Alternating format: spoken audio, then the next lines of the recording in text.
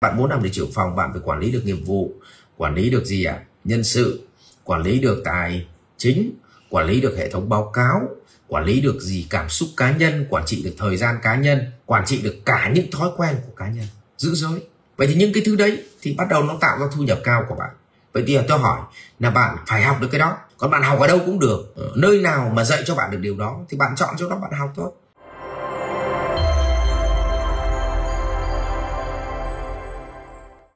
Thùy Dung có đặt câu hỏi em chào thầy ạ, à, em năm nay mới ra trường và được trả mức lương đủ sống ở Hà Nội. Bây giờ em nên học và trau dồi kỹ năng gì để nâng cao trí tuệ và tăng thu nhập ạ? À? Em cảm ơn thầy và chúc thầy sức khỏe. Vâng, à, tóm lại, ở mỗi một vị trí nó sẽ có một cái khoản thu nhập nhất định. Ví dụ bạn làm nhân viên Đa số thì thu nhập nó chỉ rơi vào tầm từ 5 cho đến 20 triệu.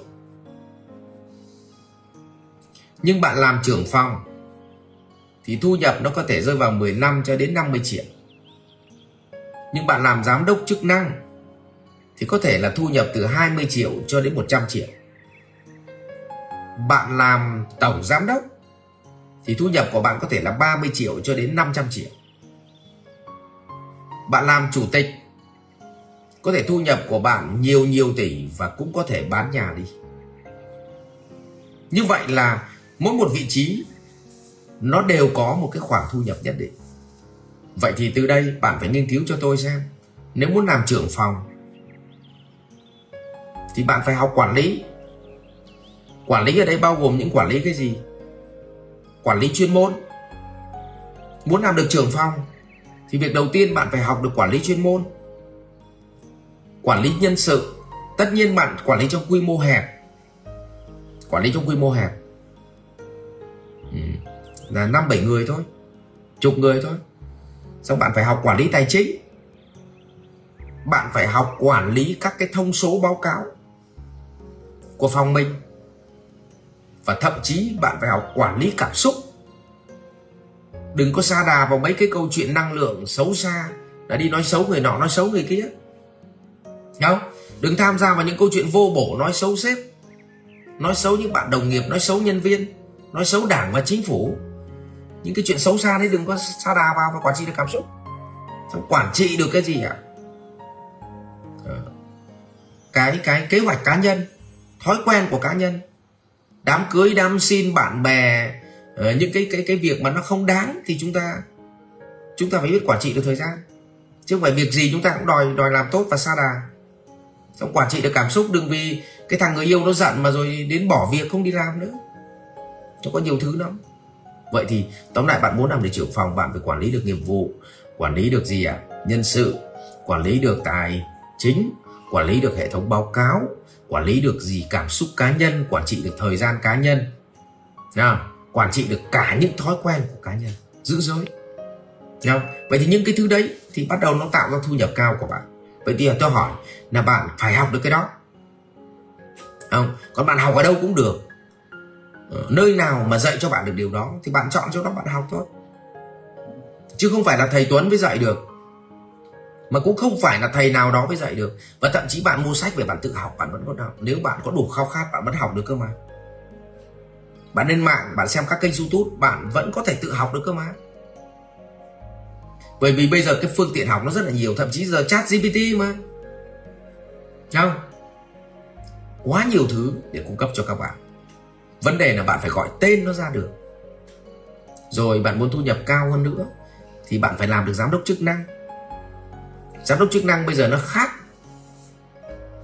với quản lý nhé, cấp trung nhé. Cấp trung là quản lý, còn đến giám đốc chức năng là quản trị nhà quản trị là nhà gì? Nhà quản trị là người vẽ ra con đường và xây dựng luật trên con đường đó. Còn nhà quản lý là người quản nhân viên để thực thi theo luật. Ví dụ như công an đứng ở trên đường mà bắt gì ạ? À? công an đứng trên đường mà bắt chúng ta vi phạm luật, đấy là nhà quản lý. Đấy là nhà quản lý. Thế còn cái người mà gì ạ? À? xây ra con đường, cắm các cọc biển được sẽ phải được sẽ trái cấm sẽ phải cấm sẽ trái. Tốc độ bao nhiêu đi bao nhiêu phạt bao tiền vượt qua bao nhiêu phạt bao tiền đến nhà làm luật. Thì nhà quản trị. Thế còn cái ông công an đứng ở đường đó là chú vượt tốc độ như bằng này chú phạt bằng này tiền. Chú đè vạch chú phạt bằng này tiền. Đấy là nhà quản lý. À, vậy thì ở đây là nếu bạn làm nhà quản trị thì bạn phải là nhà kiến tạo. Mà kiến tạo thì thu nhập của bạn nó khác như vậy bạn kiến tạo ra hệ thống nhân sự kiến tạo ra nghiệp vụ sản phẩm kiến tạo ra bộ máy kiến tạo ra cái dòng tài chính các hạn mức định mức uh, chi phí bạn kiến tạo ra bộ báo cáo để cho anh em nó làm báo cáo. À, vậy thì nó đến cái tầng kiến tạo không cho nên tại sao ở CEO Việt Nam bây giờ tôi dạy là CEO kiến tạo xong CEO quản trị vận hành. Tách ra làm hai khóa. Đấy cho nên kiến tạo rất là quan trọng. Mà không có kiến tạo thì không có quản trị vận hành. Đấy thế thì đấy là kiến tạo. Vậy thì nên giám đốc, mà lên gì ạ? Tổng giám đốc nó ở tầng cao nữa, mà lên chủ tịch nó ở tầng cao nữa thì bạn phải học. Và học đến đâu thì thu nhập của bạn nó đến đó. Không? Nhưng mà mình không có phát triển bản thân mà cứ đòi tăng thu nhập thì chỉ có điên cắp thôi. Chỉ có phát triển kỹ năng lừa đảo thôi. Ừ, thì cái đấy là theo quy luật. Vì vậy là chúc bạn muốn tăng thu nhập thì phải phát triển bản thân. Nhưng đặt câu hỏi là mình phát triển bản thân theo hướng nào? Và mình muốn đến vị trí nào? Vào năm nào? Và muốn đạt được vị trí đó, thì mình cần phải học các kỹ năng nào? Còn nếu chúng ta hiểu là không có kỹ năng gì, không có kỹ năng gì, thì làm sao chúng ta đòi thu nhập cao được? Tránh tình trạng là như vậy là trong đạo phật gọi là cầu bất đắc khổ. Không làm những thứ từ gốc rễ mà cứ đòi cầu thì không có đến và thùy dương hỏi câu này là câu à, thùy dung hỏi câu này là câu rất hay. Và chúc em sớm phát triển được bản thân và tạo ra thu nhập tốt cho chính mình. Và và đấy cũng là một cái cách mà giúp gia đình giúp xã hội phát triển hơn giúp đất nước phát triển hơn. Rồi cảm ơn thùy dung. Trường huấn luyện doanh nhân CEO Việt Nam nơi kiến tạo thế hệ doanh nhân thành công và hạnh phúc.